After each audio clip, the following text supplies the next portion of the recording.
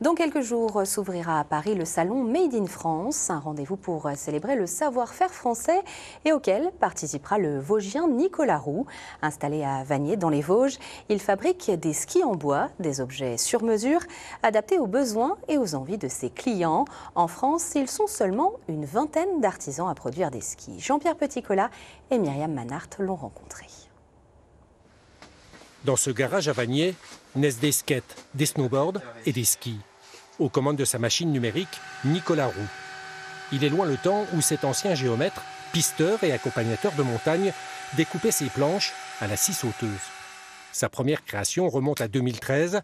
Depuis, le geste s'est affiné et la technicité a évolué. Moi, ce que j'essaie de faire, c'est vraiment utiliser le frêne, l'épicéa. Euh, déjà, c'est du bois local.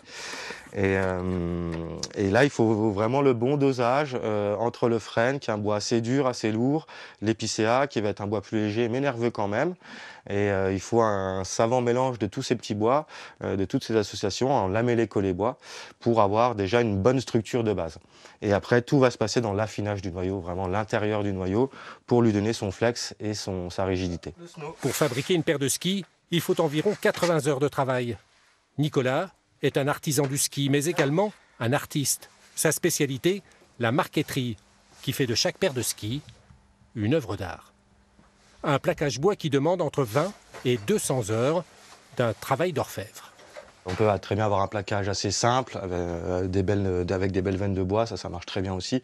Mais il y, a eu quand même des belles marqueteries, euh, des, gros, gros boulots de sortie euh, en fonction des demandes de chacun. Ça peut aller d'un tatouage, ça peut aller d'un dessin d'une personne, vraiment.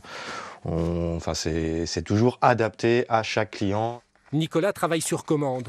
Pour une paire de skis, il faut compter à partir de 1000 euros pour un produit Made in Vosges, 100% Made in France. Et justement, ce Voinroux exposera ses créations au salon Made in France à Paris la semaine prochaine.